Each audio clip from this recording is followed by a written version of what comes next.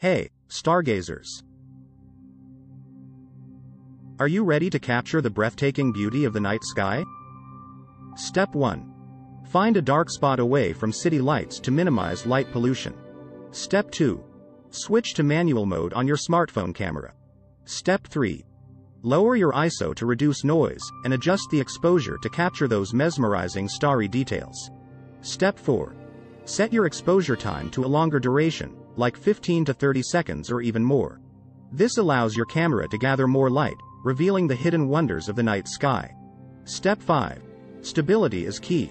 Use a tripod to keep your smartphone steady during those long exposure shots. Step 6. Tap on a bright star or use a star finding app to manually focus your camera. Step 7.